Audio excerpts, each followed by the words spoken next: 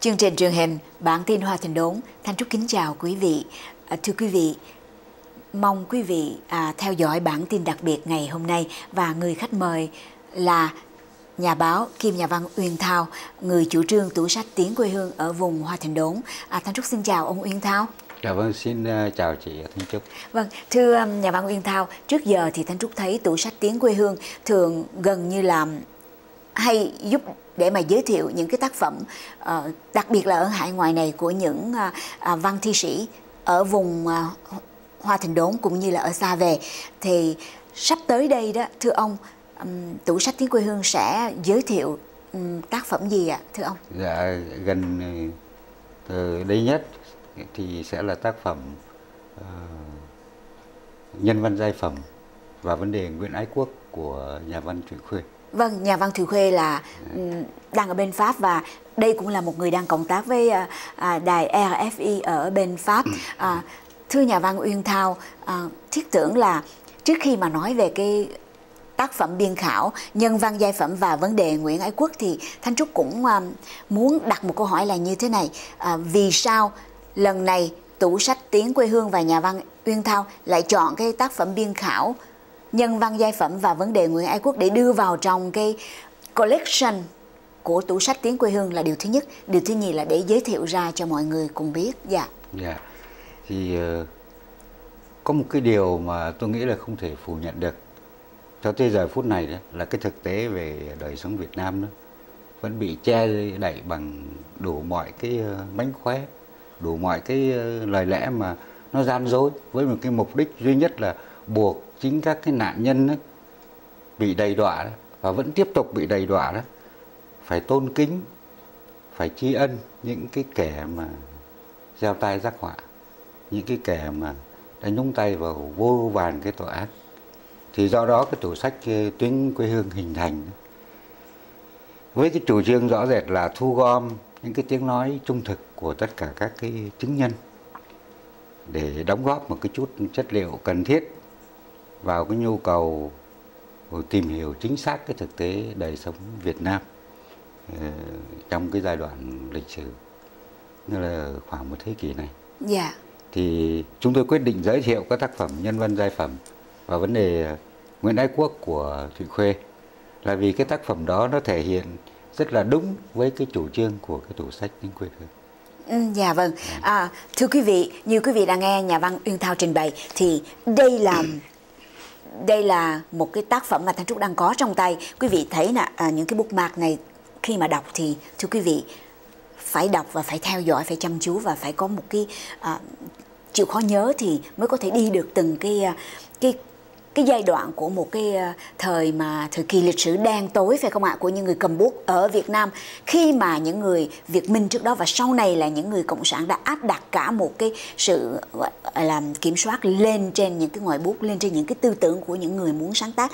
Thì, thưa quý vị, đây không phải là một thi tập, đây cũng không phải là một văn tập, mà đây là một tác phẩm biên khảo. Và nó có một cái ờ, sự tìm tòi, chuẩn bị, công phu. Như vậy thì nó sẽ rất là kén người đọc và không phải là ai cũng muốn tìm đến để mà đọc một cái tác phẩm. Có thể nói là nó quá phức tạp và nó quá nhiều chi tiết lịch sử như thế này. Vậy thì thưa nhà văn uyên thao à, cái vấn đề mà thanh trúc nói là nó cán độc giả cán người đọc.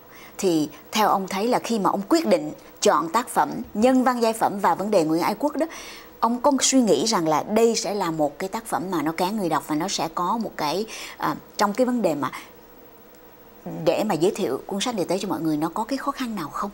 Cái sự thực thì, ừ, khi mà làm cái tủ sách tiếng quê hương chúng tôi không lưu tâm nhiều đến cái khía cạnh là mình làm sao mình đáp ứng những cái gọi là cái ừ, yêu cầu giải trí của người đọc. Và chúng tôi nghĩa là nhìn sang một cái khía cạnh khác như là vừa nãy tôi đã nói. Mình cố gắng thu góp những cái tài liệu cần thiết để mà nhận thức đúng cái cái thực tế của Việt Nam. Thì như vậy đó nhìn một cách tổng quát vào cái tác phẩm của Thụy Khuê đó thì chúng tôi thấy cái tác phẩm của Thụy Khuê nó đáp ứng khá cao cái yêu cầu mà gọi là nhận thức về cái thực tế đời sống Việt Nam. Yeah. Dạ. Rồi qua ít nhất là hai cái điều mà tôi thấy hai cái điều đó gắn bó mật thiết với cái tiến trình lịch sử Việt Nam gần một cái thế kỷ qua. Yeah. Dạ.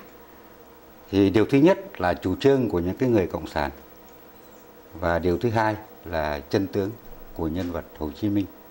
Ừ, dạ. Thì cái trên thực tế đó chỉ không riêng cái người cộng sản luôn bịa đặt để tô vẽ cho họ một cái cái cái chân dung nó nó là giả, giả trá mà đã có không ít những cái gọi người gọi là triết gia là văn gia là ký giả là nghệ sĩ nổi tiếng ở trên thế giới vì từng đoạt rất nhiều cái giải thưởng quan trọng thì cũng tán trợ cái cái tấn tuồng nghĩa là đổi trắng thay đen để làm một cái việc rất là kỳ lạ là đi ca ngợi cái ờ, đảng cộng sản Việt Nam và đặc biệt là cái nhân vật Hồ Chí Minh là những cái người mà đã bỏ cả cái cuộc sống riêng của mình để mưu cầu một cái đời sống mà gọi là ấm no hạnh phúc cho cái người dân Việt Nam mà cái cuộc cuộc sống mà họ gọi là chưa bao giờ có cả thì tôi yeah. Dạ. nghĩ rằng cái điều đó đó mình không thể nào mình chấp nhận được một cái chuyện mà nó giả đến như vậy. Thì cái cuốn sách của Thụy Khuê tác giả đã bỏ ra gần chọn 20 năm để tìm tòi để thu góp những cái uh, chứng liệu cụ thể quanh cái vụ án nhân văn giai phẩm. Dạ. và quanh cái cuộc đời của nhân vật Hồ Chí Minh.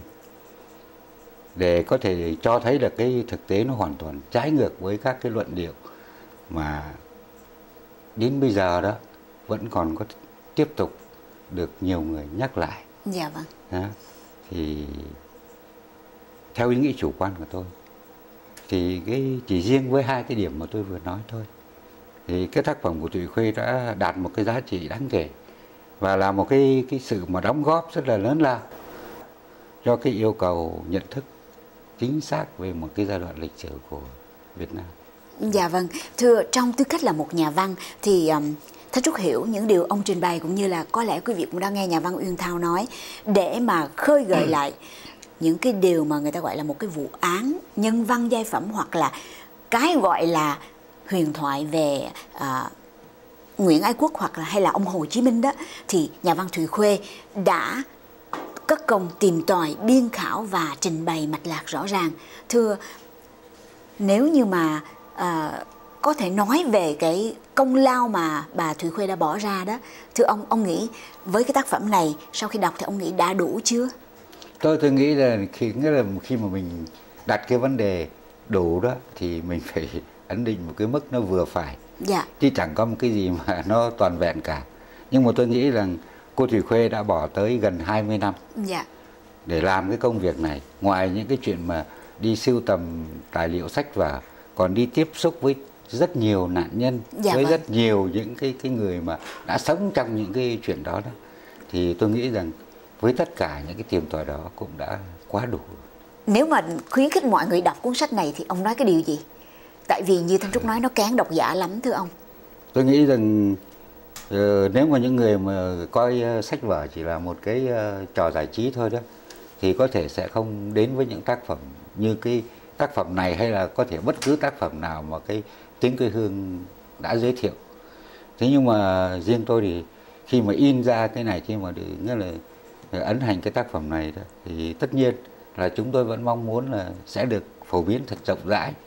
Và cái điều mà mong muốn hơn nữa của chúng tôi đó là từ nội dung của tác phẩm thì mỗi bạn đọc sẽ thấy rõ được cái mức thiết khẩn thiết của cái cái yêu cầu mà thay đổi cái thực tế ở Việt Nam.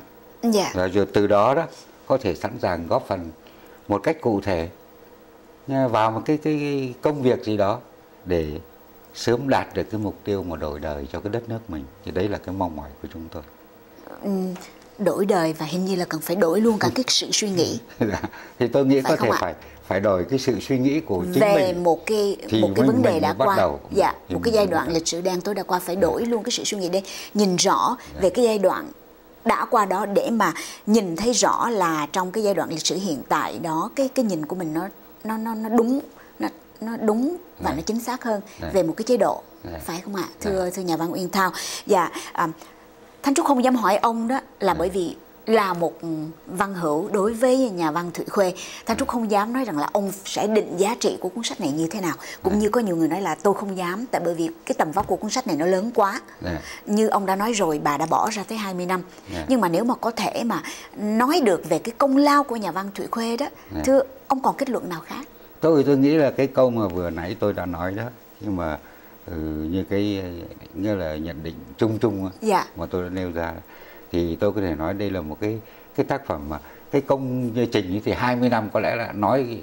khá đủ rồi dạ thế nhưng mà cái mà gọi là cái giá trị thực tế đó, thì tôi nghĩ đây là một cái sự mà đóng góp rất lớn dạ cho cái yêu cầu mà nhận thức về về cái thực tế đời sống Việt Nam trong cái giai đoạn lịch sử vừa qua. Dạ vâng, xin cảm ơn nhà văn Uyên Thao. Kính thưa quý vị, đây là bản tin đặc biệt của chúng tôi về um, tủ sách Tiếng quê hương và nhất là cái tác phẩm sắp sửa uh, sẽ được um, trình diện đến quý vị của nhà văn Thùy Khuê. Đó là tác phẩm biên khảo Nhân văn giai phẩm và vấn đề Nguyễn Ái Nguyễn Ái Quốc. Cái cái chữ Nguyễn Ái Quốc đó họ đặt thành vấn đề mà có lẽ đây cũng khiến cho quý vị cần tìm đọc.